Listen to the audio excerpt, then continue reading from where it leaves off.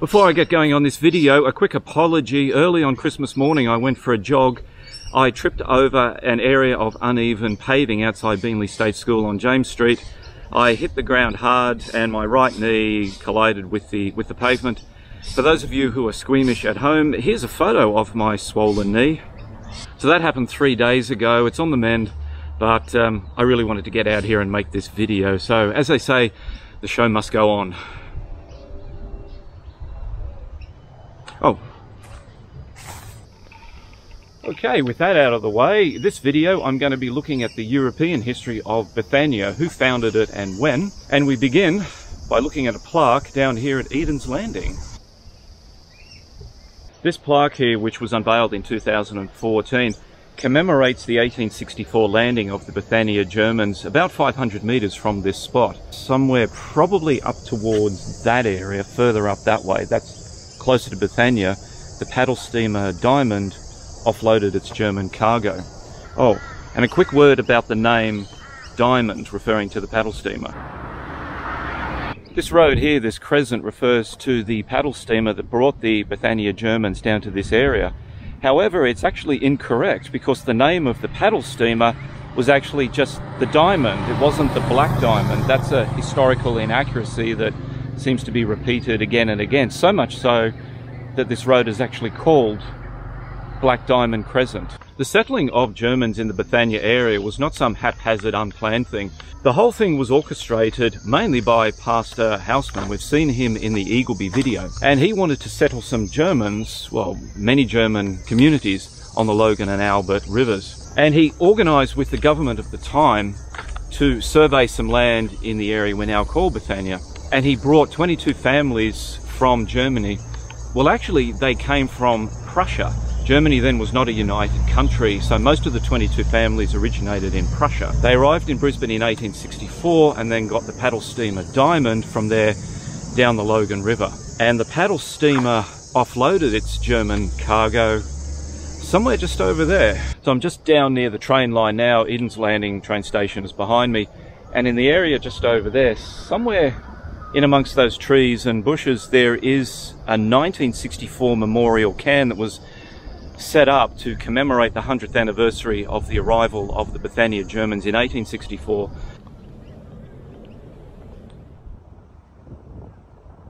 In 1861, the Logan Agricultural Reserve was established. Agricultural reserves were an attempt by the government of the day to get the land more productive, to get more farms happening. This road that I'm standing on here this is today called Station Road in Bethania. Originally, this was called German Pocket Road. And a couple of years after the agricultural reserve was established, the reserve boundaries were moved this way. And this road here, running right along here, German Pocket Road, became the boundary, the end of the Logan Agricultural Reserve. So that means that this side of the road here there were already some English and Irish farms, so they were on that side of the road within the Logan Agricultural Reserve. In 1864, the Germans from Prussia arrived and they settled on this side of the road here. So German Pocket Road became the boundary.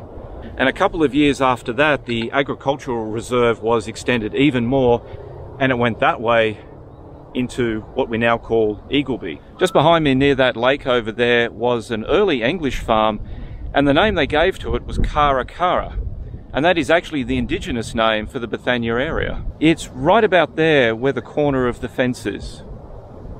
Hmm. So where does the name Bethania come from? Well, it comes from the town of Bethany in the Holy Land. The Germans called it Bethanian, the anglicized version of that is Bethania. In the early days of settlement here, the local indigenous people used to camp quite close to where the Germans were setting up their homes and businesses. And sometimes on a full moon night, the Germans would accompany the indigenous people to their corroborees. And I think that would have been an absolutely extraordinary experience.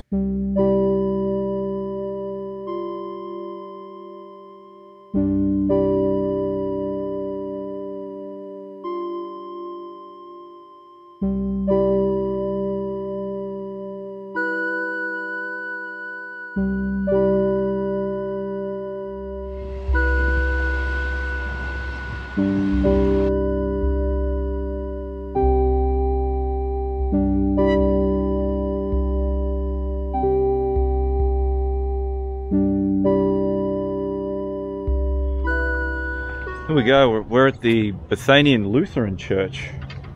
This is the oldest Lutheran church in Queensland.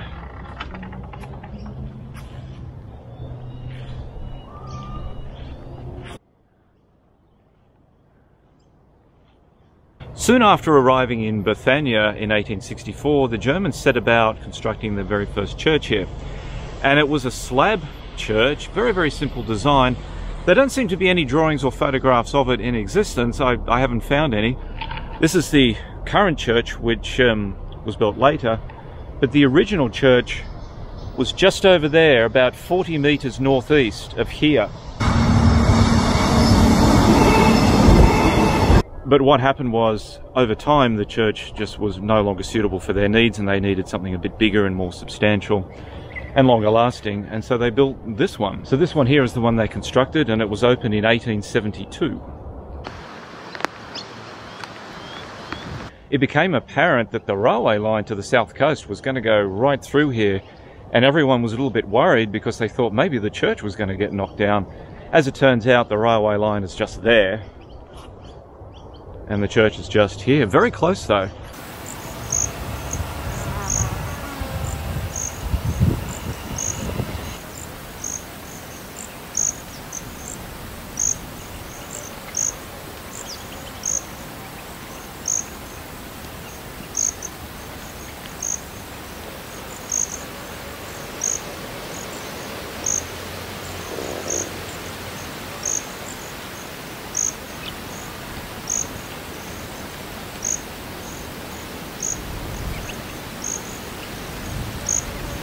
Now normally the church is closed, but I was able to get in a few days ago and have a little look around.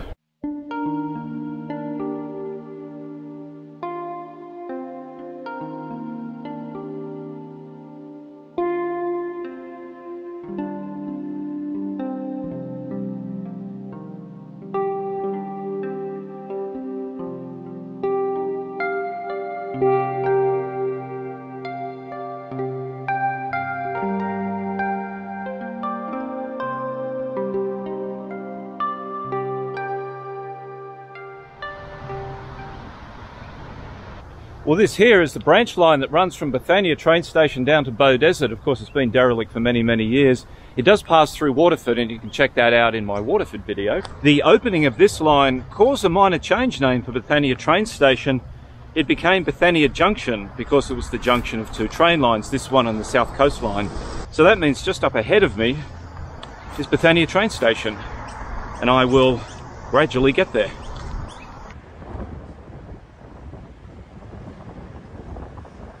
This was originally called, and only for a few months, Karakara Station, and that was the name that was one of the early farms before the Germans arrived. And in 1908, a refreshment room opened here at Bethania train station. The Brisbane City and Ferny Grove. Train till the train has stopped.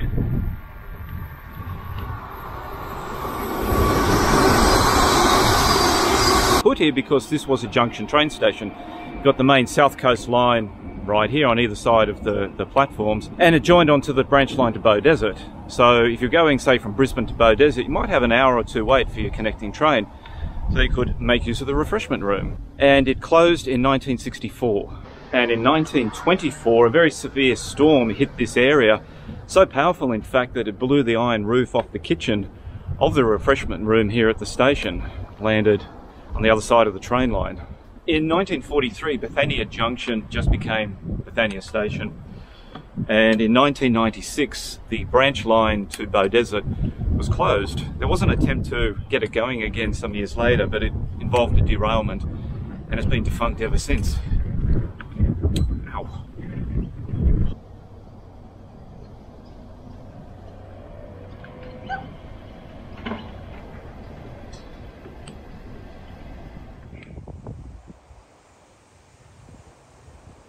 In the early days of settlement, there was a little bit of cotton growing going on here, and then a little bit later after that, there was sugarcane.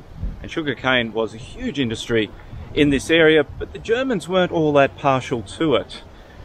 As the 19th century came to an end, it was dairying that became the dominant industry, and then that collapsed around about the mid 20th century. And then from the 1970s onwards, just like Beenleigh and Eagleby and Waterford, you get modern housing developments springing up.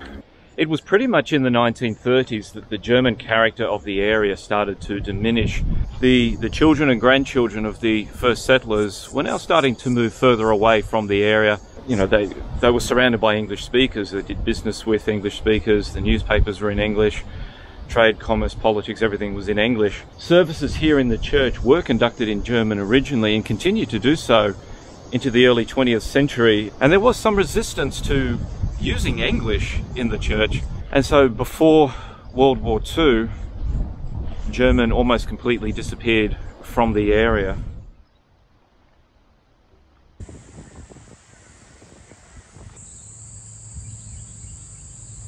I'm on Federation Drive and this brings me to the end of our story.